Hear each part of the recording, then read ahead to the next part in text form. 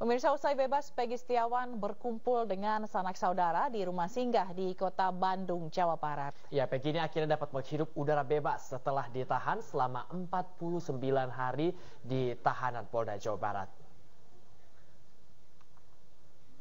Ya, pemirsa Rona bahagia ini terpancar dari wajah Peggy Setiawan pasca Pengadilan Negeri Bandung mengabulkan gugatan pra-peradilan. Di hari pertama aja bebas dari rumah tahanan Polda Jawa Barat, Peggy langsung berkumpul dengan sanak saudaranya di rumah singgah Jalan Sabang, Kota Bandung.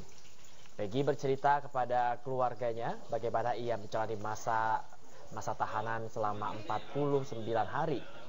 Peggy mengaku menerima perlakuan baik dari tahanan lain. Saat ini Peggy menunggu untuk kembali ke kampung halamannya di Cirebon.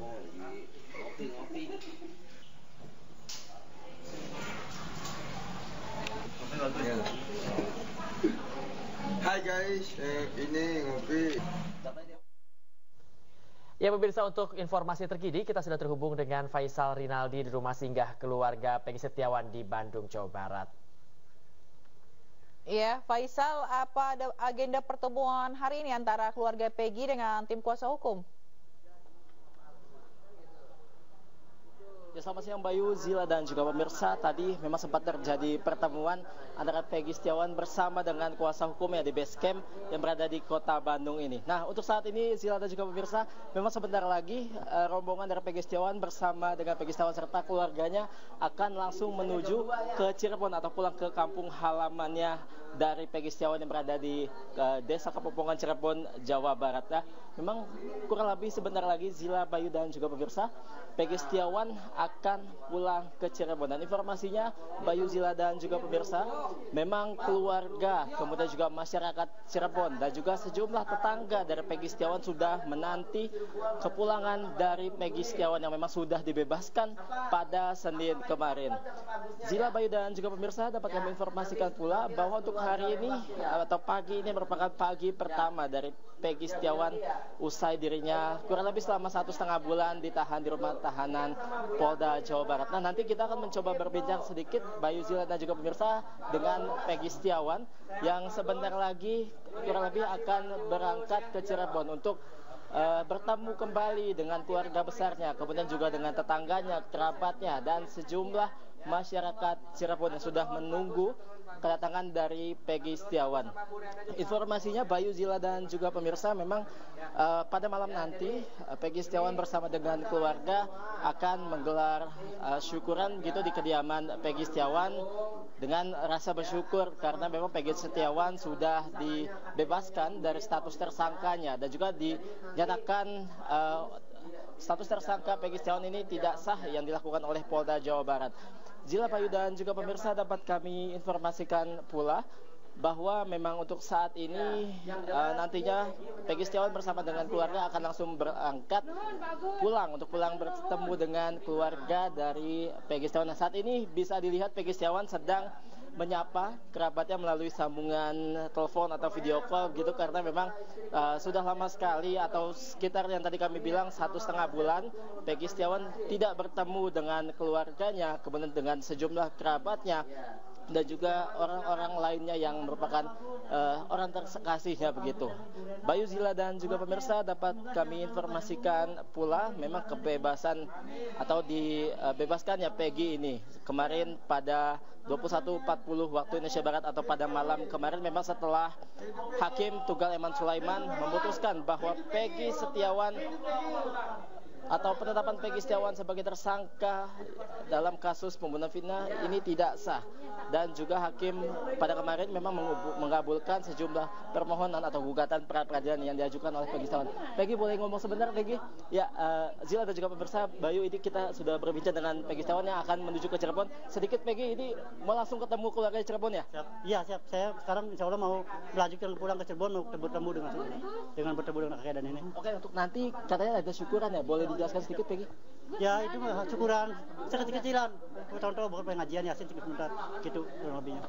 Oke baik Peggy terima kasih ya hati-hati di jalan ya uh, Zila Bayu dan juga pemirsa ini adalah momen sebentar lagi Peggy Setiawan bersama dengan keluarga serta kuasa hukumnya akan meninggalkan kota Bandung untuk berangkat ke Cirebon dan juga pulang ke kampung halamannya ini. Nah, ini Peggy bersama dengan ibunya, kemudian juga adik-adiknya yang saat ini sedang menyapa sejumlah awak media yang hingga saat ini masih terus mengawal. Nah, Peggy dan juga ibunya serta adik-adiknya saat ini Bayu, Zila dan juga pemirsa memang sudah memasuki mobil dan sebentar lagi akan langsung bertolak atau menuju ke kota Cirebon atau ke kampung halamannya yang tadi sempat disebutkan oleh Peggy Setiawan bahwa pada malam nanti memang akan digelar acara atau akan digelar syukuran begitu terkait dengan kebebasannya Peggy yang memang sudah dinyatakan bukan tersangka kasus pembunuhan Vina dan Eki yang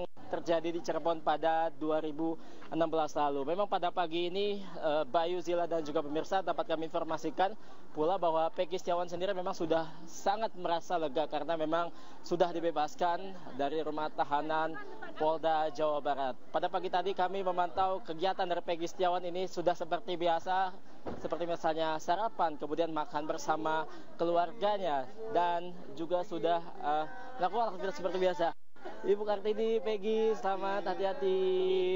Ya, Bayu dan juga Zila rombongan dari Peggy Setiawan, yakni Peggy Setiawan, kemudian kuasa hukumnya Ibu Yanti dan juga Ibu Kartini yang merupakan ibu dari Peggy Setiawan ini sudah akan berangkat menuju ke Cirebon yang di mana keluarga dari Peggy Setiawan yang ada di Cirebon ini saat ini sudah menanti atau sudah menunggu-nunggu kepulangan dari Peggy Setiawan yang sudah bebas pada Senin kemarin. Hati-hati Ibu Yanti, Ibu Kartini, Peggy.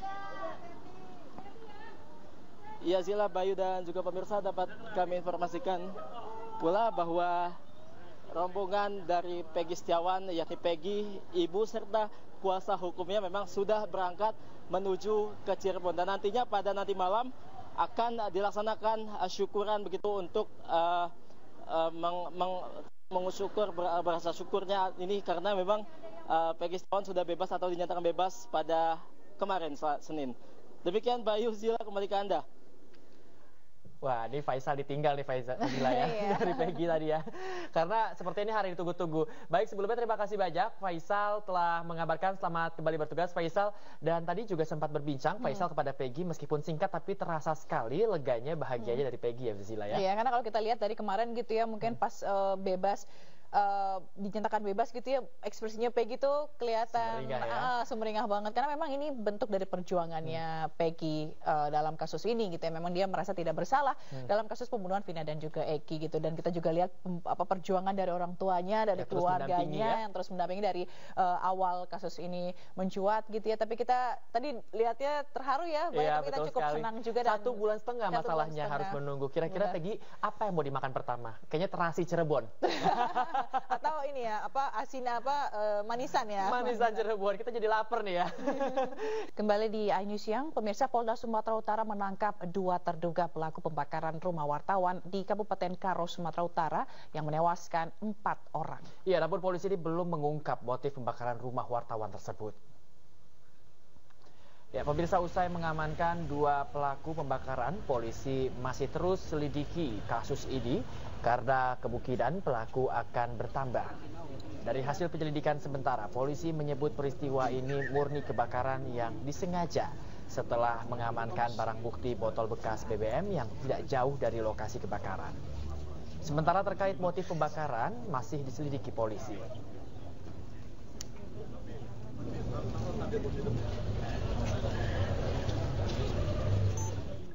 Ya pemirsa, kini kita cari tahu informasi terkini soal pelaku pembakar rumah wartawan yang ditangkap. Uh, kita sudah terhubung dengan Kabit Humas Polda Sumatera Utara, ada Kombes Pol Hadi Wahyudi. Ya, selamat siang Pak Hadi. Assalamualaikum. Selamat siang. Waalaikumsalam warahmatullahi Baik, Pak Hadi, saat ini kan sudah ada dua tersangka yang sudah ditangkap. Siapa saja mereka ini, Pak? Bagaimana?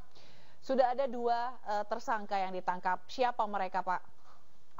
Oh ya, hmm. uh, jadi kami sampaikan kembali dari mulai peristiwa ini terjadi hmm. tanggal 27 Juni 2024 hingga tertangkapnya satu eksekutor pertama tanggal 6 Juli Berarti 9 hari proses penyelidikan ini bisa uh, dituntaskan dan bisa mengungkap terkait dengan apa sebelumnya apakah ini uh, terbakar atau hmm. kebakaran. Hmm. Hmm. Hmm. Jadi uh, rilis yang disampaikan oleh Bapak Kapolda kemarin sudah disampaikan dengan sangat jelas bahwa peristiwa ini adalah peristiwa kejahatan.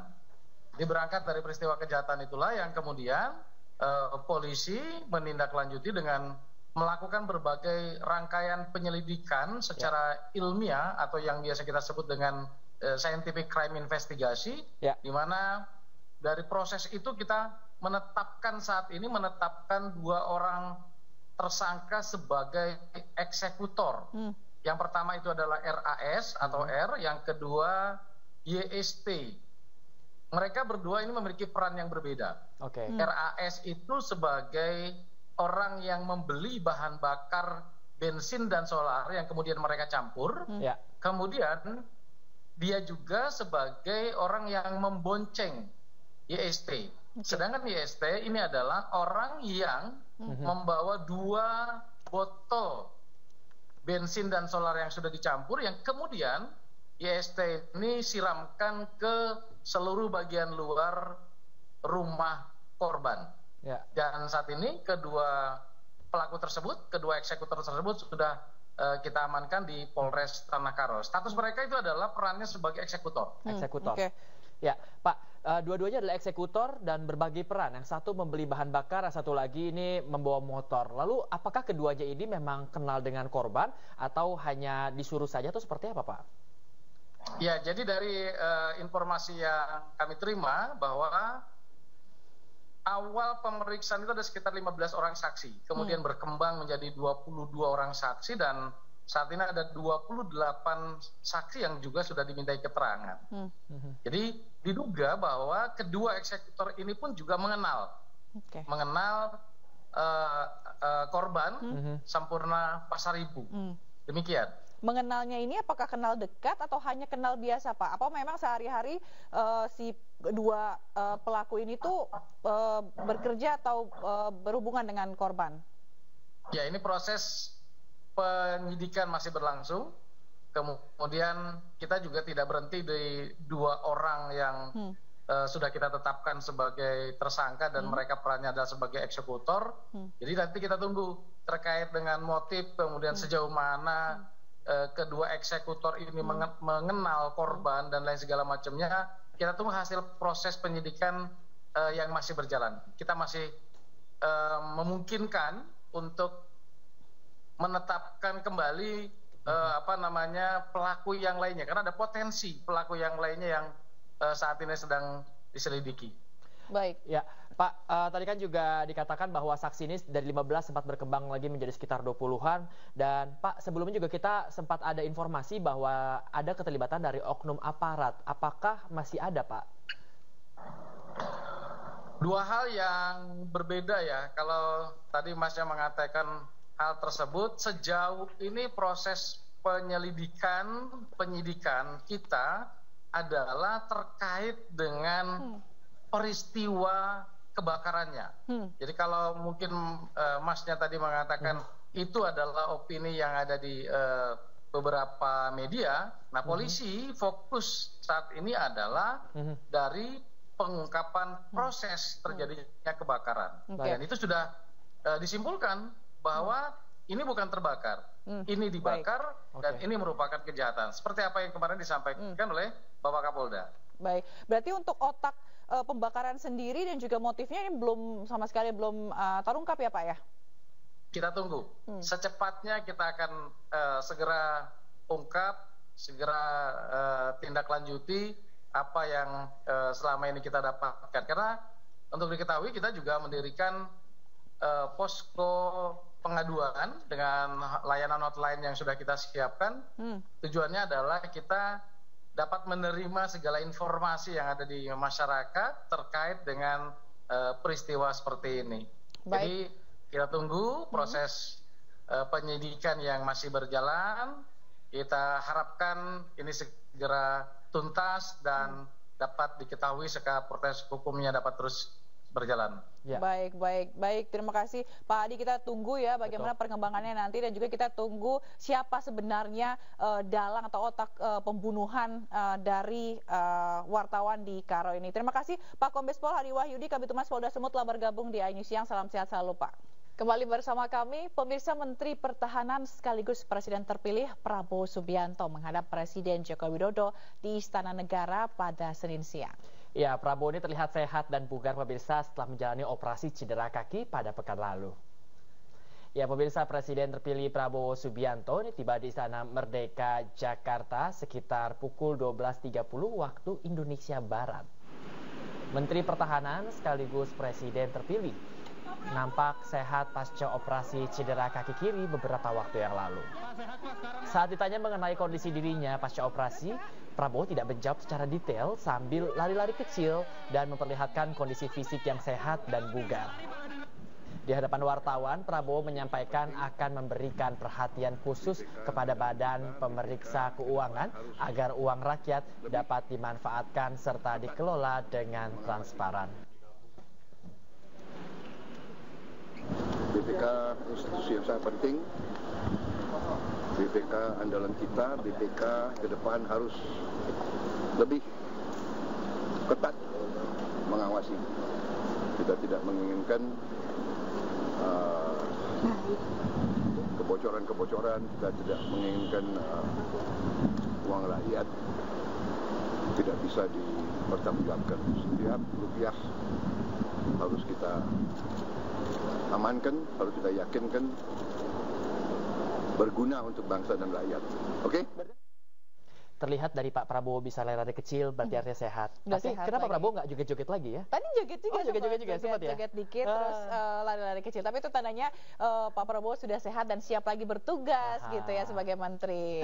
ya kita ke informasi selanjutnya di mana jelang kontestasi Pilkada 2024, Ketua Umum Partai Solidaritas Indonesia Kas Kaisang Pangarep ini menyambangi kantor DPP PKS Jakarta Selatan Senin sore.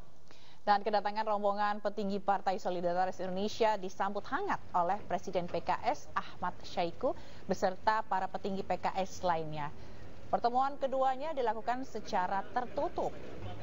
Dalam pertemuan yang dilakukan secara tertutup tersebut, Presiden PKS Syaiqo mengatakan ada sejumlah kesepakatan untuk membangun kerjasama dengan PSI dalam Pilkada 2024 mendatang.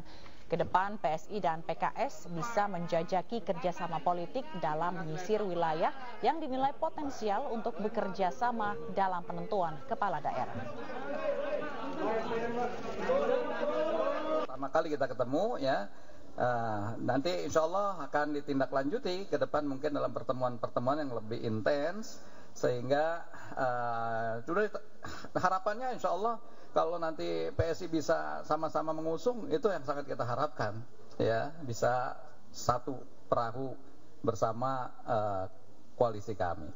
Untuk mengenai koalisi yang akan segera dibangun oleh DPP PKS yang uh, mengusung Pak Anies dan Pak Sohibul itu nanti akan kami bahas kembali uh, di PSI Sementara Partai PKS, PDIP, dan Golkar Kabupaten Bandung resmi bersepakat menandatangani dan mendeklarasikan kerjasama untuk Pilkada Kabupaten Bandung 2024 di sebuah hotel di Soreang, Kabupaten Bandung.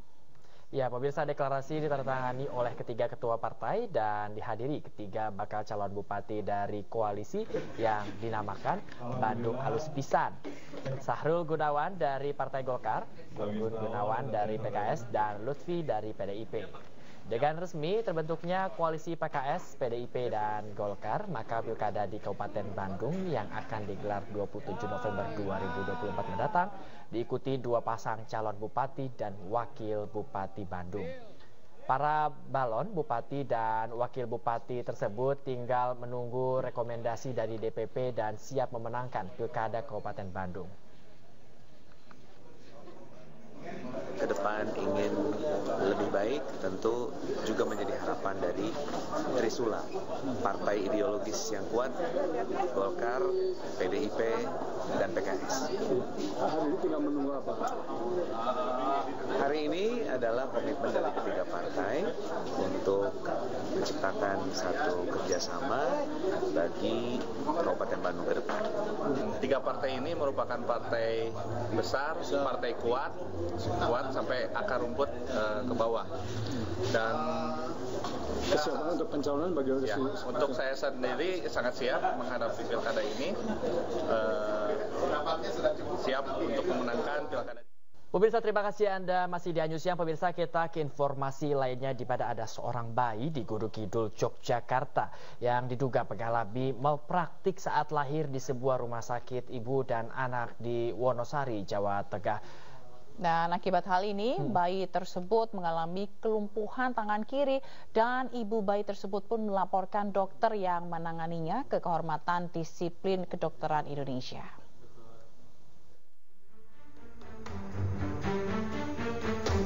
Nurul Hidayah Isnaya, seorang ibu di Kecamatan Wonosari, Gunung Kidul, Yogyakarta, melaporkan seorang dokter spesialis objin Rumah Sakit Ibu dan Anak Alaudia ke Ketua Majelis Kehormatan Disiplin Kedokteran Indonesia. Pelaporan ini dilakukan atas dugaan malpraktik yang menyebabkan anak keduanya mengalami kelumpuhan di tangan kiri saat lahir. Kejadian bermula saat Nurul merasa adanya kejanggalan saat melakukan persalinan di RS Alaudia pada awal April 2023 lalu. Di tengah proses persalinan, Nurul sempat meminta operasi sesar, namun pihak rumah sakit memaksakan persalinan normal. Pihak rumah sakit pun lantas melakukan vakum tanpa persetujuan sang suami. Usai melahirkan, Nurul dan suami juga sempat ditolak untuk melihat kondisi sang buah hati.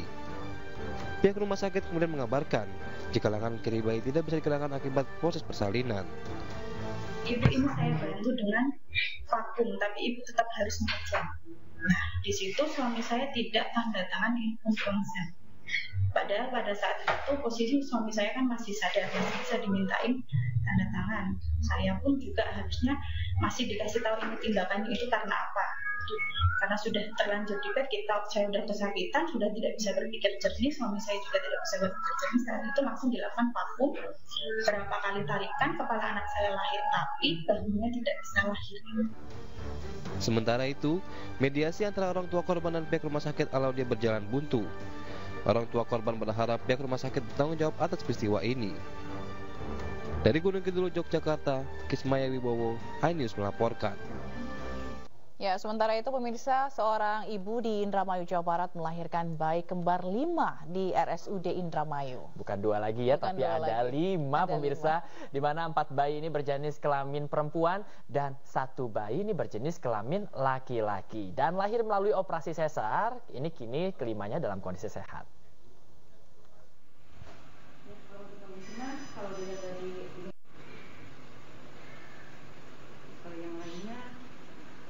Lima bayi kembar ini lahir dari Rahim Nuraini, warga desa Bodas, kecamatan Tukdana, Kabupaten Indramayu, Jawa Barat. Empat bayi berjenis kelamin perempuan dan satu bayi berjenis kelamin laki-laki. Bayi yang lahir dengan rata-rata berat di bawah 2.500 gram tersebut ditempatkan di ruang khusus dengan pengawasan perawat dan dokter spesialis anak. Meski prematur, namun lima bayi ini dalam kondisi sehat dan stabil. Ibu bayi kembar lima juga dalam kondisi sehat usai menjalani operasi sesar. Sebelum melahirkan, ibu bayi sempat mengecek kondisinya di puskesmas Tukdana hingga akhirnya dirujuk ke RSUD Indramayu untuk persalinannya. Awalnya dokter yang melakukan USG hanya mendapati empat bayi saja. Namun saat dilakukan operasi sesar, dokter mendapati lima bayi dalam rahim ibu dan uh, pada saat dilakukan pemeriksaan uh, di USG tampak ada empat ya. Uh, operasi dilakukan pada tang, uh, pada jam 18.44 selesai di 19.45. Didapatkan hasilnya ada lima ternyata bayinya yang uh, di dalam hasil operasi tersebut. Kelahiran bayi kembar lima ini baru pertama kali terjadi di RSUD Indramayu. Kini bayi kembar lima tersebut dalam penanganan tim medis rumah sakit tersebut. Dari Indramayu, Jawa Barat, Tok Iskandar, iNews melaporkan.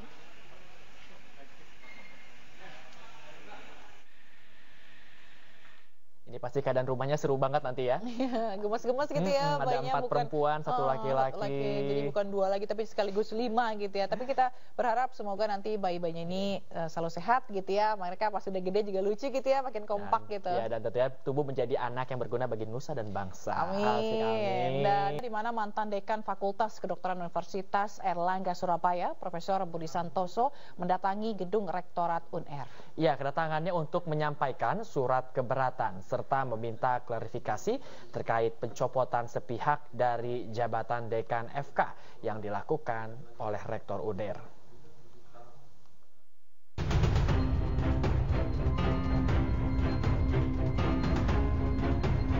Mantan Dekan Fakultas Kedokteran Universitas Erlangga Surabaya, Profesor Budi Santoso, mendatangi gedung rektorat kampus. Profesor Bus datang untuk menyampaikan surat keberatan terkait alasan pemberhentiannya sebagai dekan FK UNR. Dalam surat keputusan tersebut tidak dijelaskan secara rinci alasan pemberhentian sebagai dekan Fakultas Kedokteran UNR. Kami ingin uh, mengantarkan sebuah surat yang isinya klarifikasi dan mempertanyakan alasan dan prosedur uh, yang uh, apa yang diberlakukan uh, kepada kami sehingga begitu singkatnya saya mendapatkan SK tersebut. Muncul pertanyaan mengapa Profus dihentikan dalam waktu yang singkat. Padahal uh, pihak Profus sendiri merasa tidak melakukan kesalahan apa pun dalam rangka melaksanakan tugas-tugasnya sebagai uh, Dekan Fakultas Kedokteran Universitas Erlangga. Dekan Fakultas Kedokteran Universitas Erlangga, Profesor Budi Santoso diberhentikan dari jabatannya, diduga usai menolak wacana naturalisasi dokter asing di Indonesia. Pencopotan ini menjadi protes dari berbagai kalangan, terutama mahasiswa dan akademisi. Dari Surabaya, Jawa Timur, Juda Prawira, Anyus melaporkan. Nah ini Bayu kalau kemarin gitu ya liburan kan anak sekolah panjang hmm. banget gitu ya. Hmm. Tapi udah ada yang masuk dan hmm. ada juga yang masih libur nih. Ya. Jadi ibu-ibunya nih kayaknya udah mulai repot gitu ya menyiapkan ya. uh, perlengkapan sekolah baru untuk anak-anaknya. Tapi ini seru sekali sepertinya ya. Di mana di jelang masuk sekolah sebuah toko perlengkapan seragam sekolah di Jalan Pengadilan Kota Bogor diserbu pembeli ini. Nah ini ada puluhan warga yang rela berdesakan loh hanya untuk membeli kebutuhan sekolah anaknya mulai dari seragam SD, SMP dan SMA hingga perlengkapan lainnya. Dan informasi ini sekaligus menutup Aini siang hari ini pemirsa. Dan akhir kata saya Bayu Pradana. Dan saya Fazilah Kayunisi, Kayurinisa maksud saya. Pamit undur diri, selamat beraktivitas. Terima kasih dan sampai, sampai jumpa.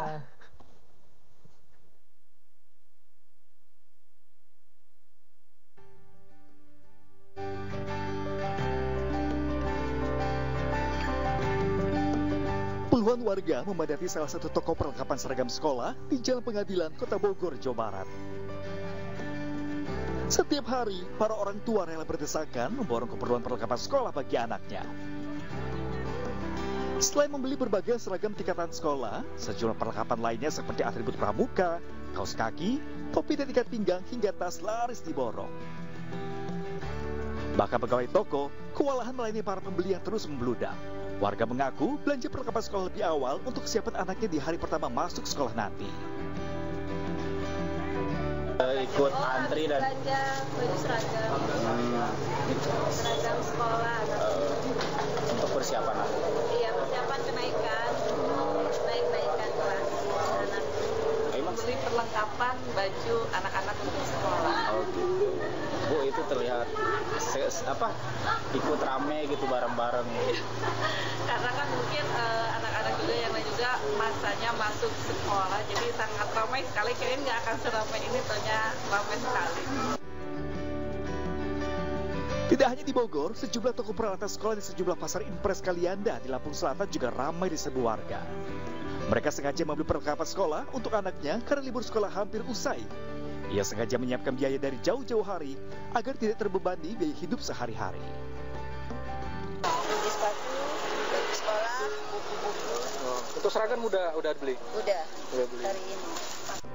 Sementara, menurut salah satu pedagang perlengkapan sekolah, omset penjualan perlengkapan sekolah naik karena permintaan cukup tinggi. Ia menjual buku tulis mulai dari 40.000 hingga 70.000 per rak, sementara untuk harga seragam mulai dari 160.000 hingga 250.000 rupiah per stylenya. Kalau satu style kalau baju putih 150. Kalau pemuka 160. Yang paling banyak dicari ini baju uh, SMP apa SD, Pak? SD. SD. Toko perlengkapan sekolah ini akan terus diserbu warga, mengingat hari libur sekolah akan segera usai pada akhir pekan ini. Tim Liputan Ayus melaporkan.